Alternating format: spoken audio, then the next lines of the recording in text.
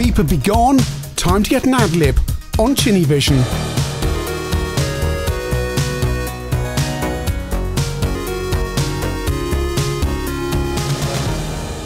Okay, so PC gaming isn't a huge part of what we do here on ChinnyVision as I try and navigate the camera tripod there. Yes, we are in the ChinnyVision office, not at the kitchen table because just how things worked out today. We don't do a huge amount of PC coverage. Usually it is games where they've been released on the Amiga, ST, Amstrad, Spectrum, Commodore 64, and there's a PC version to show. And when I show those games, I usually run those games on my Amstrad PC 2086 or uh, this Dell DX4 laptop, which is donated to the channel by Baldi.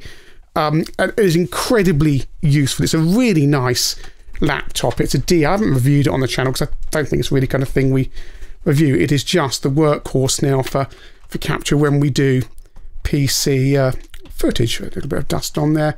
Table's not really good for this. I will put it back down. There. It's really useful. It's got a hard disk. It's powerful enough to do most things. The only thing it struggles a bit with is the really old stuff where it's just too fast to run it, and even when you try and slow it down, it doesn't quite work. But it's convenient. It sits in the drawer um, with all my retro stuff, so I can just pull it out when I want to use it. But the problem is, like with all PC stuff, unless you have a sound card then you're stuffed. Now, this machine has no ISA or PCI slots or anything like that in it. And even if I was to put a sound card in my Amstrad PC2086, those things cost a fortune these days. Sound cards are really expensive because suddenly PC gaming is trendy. I mean, I laugh at Amiga owners pushing the prices up of their stuff, but I mean, seriously, nostalgia for PC games? Um, don't get it, but that's that's me. That's me. But you know, sound cards costing a fortune. So you've got a problem, and you've got a problem if you get a laptop because you've got no sound on there at all. Now, what you want is some kind of parallel port sound card. These were available in the day. They were quite um, rare and limited compared to a standard uh, sound card, but they were available but they are now available. This is the OPL3 LPT FM synthesizer sound card. And it comes in this little uh, case thing here. Let's get you in close.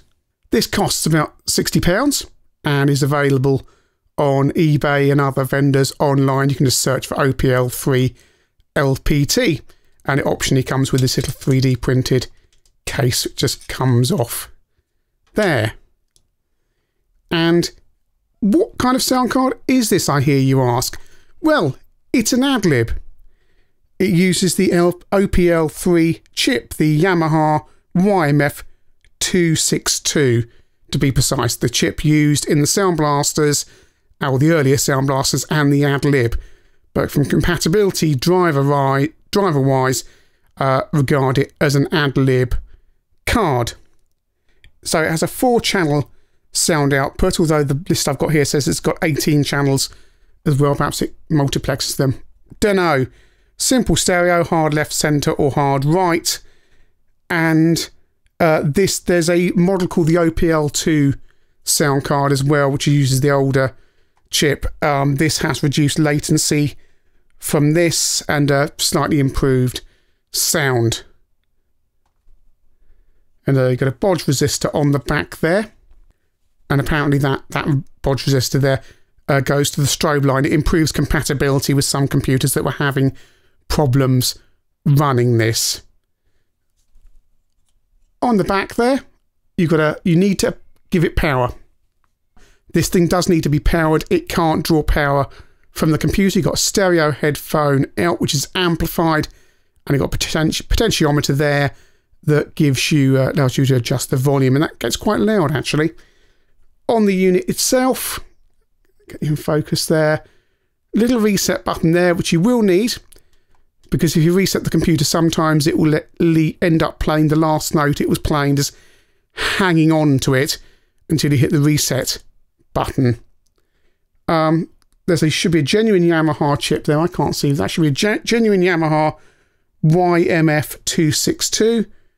Do we have a date code? I can't see there, but that is yeah, that is a genuine Yamaha, and it's all very tidy design there. And so you get quite a bit of bang for your buck on there. If the, if these had been more widely available back in the day, they would have made an absolute killing for laptops and things where sound like this. This Dell here is a really well spec laptop, and yet the one thing it doesn't have with its DX4 processor and all its memory and large hard disk is any sound capability. Um, this you know, it wasn't standard at all for 486 laptops to have sound built in, let alone a decent chip like the Yamaha here. Uh, the chip here can't play um, samples or anything like that. It is just chip music. This costs about £60. My copy came from Shenzhen in China. I think you can get them direct from Belgium where they're made, but this the prices seem to be about the same and the, the seller on eBay seem to have some good reviews, so that's where I got my copy from. Your mileage may, of course, vary. Um, this could well be a, a clone, I don't know, um, not an original, but so far so good with it. Of course, it simply plugs into the back of your computer, like yay, and then you're going to plug in your power supply and your uh, headphone out, which is, as I say, amplified. And be warned, this thing does get very, very loud.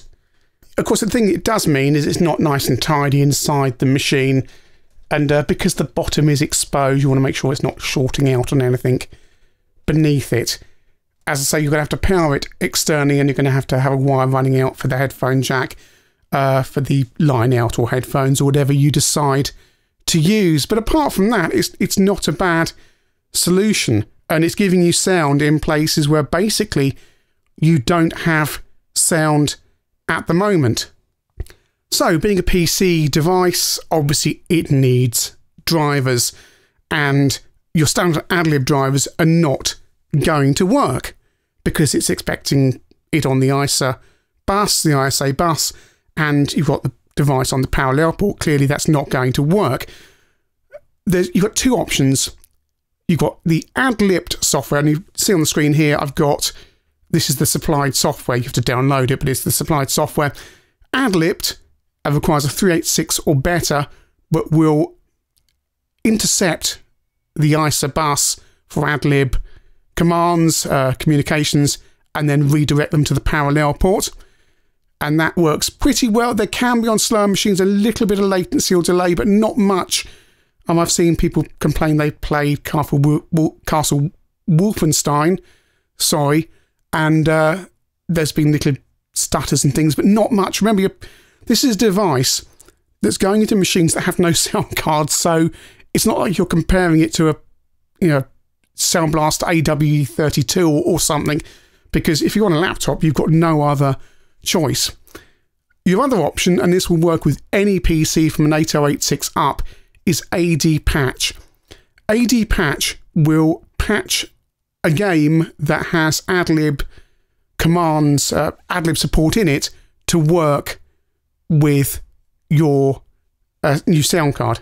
Doesn't work for everything, but you need to use that for either machines that don't have a 386 or, or you know, either 286 or 86, or games that use protected mode, uh, 386 protected mode. Games that use 386 protected mode need to be patched using the ad patch. We will see that a little bit later on. So once you've installed the AdLib driver, you can run the OPL3 test, and this is what happens. Detects the sound card and happily runs. And it has that familiar Sound Blaster 16 AdLib sound that so impressed all us Amiga owners when we came over to the PC. Anyway, in practice, right, let's run a game. So here's Nigel Mansell you may have seen the review of this, or it may not be out yet. I don't know. I have done a review of this. Here we go. This is a standard game, no protected mode. So AdLib works straight off the bat.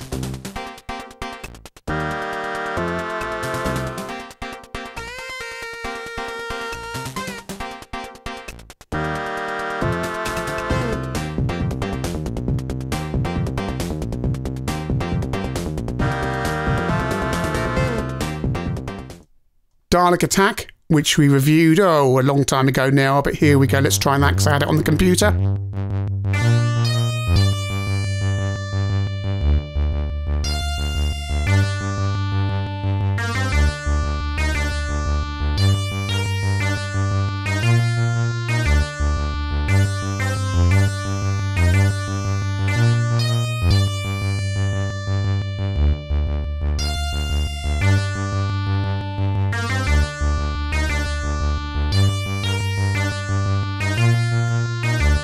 And I've been trying various games, and here's Krusty's Super Fun House. And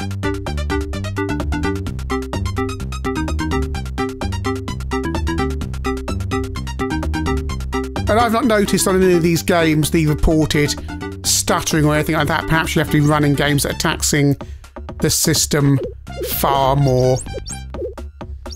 But Krusty's Super Fun House is running superbly here on this Dell 486.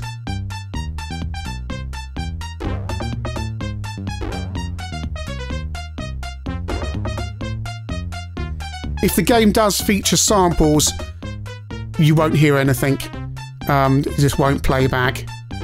So, we talked about patching. So, here's what you do you either patch the game executable or you find the DLL file that has the support for AdLib in it. So, it's a SimCity 2000. I found the AdLib DLL in the sound directory. I patched it, which on this 486 takes no time at all and then we go into the install utility.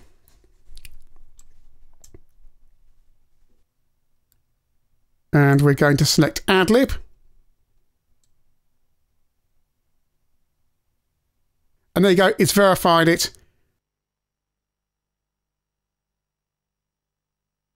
And I don't think we're able to do sound effects as well. Tried Sound Blast. No, it needs to be AdLib uh, you can't go selecting things like Sound Blaster, it just won't work. So let's boot up SimCity, which will look a little bit grim on this capture because my PC capture isn't really, well, it's not going to work for SVGA very well, really. If anyone's got any HD capture solutions for SVGA output, let me know in the comments below. Off the shelf ones, not ones that need wiring and things. But it sounds like SimCity. Yes, you may have been using General MIDI. When did you use General MIDI on SimCity 2000? Possibly, but it doesn't matter. Look, listen to this. It sounds perfectly fine, exactly as SimCity should sound.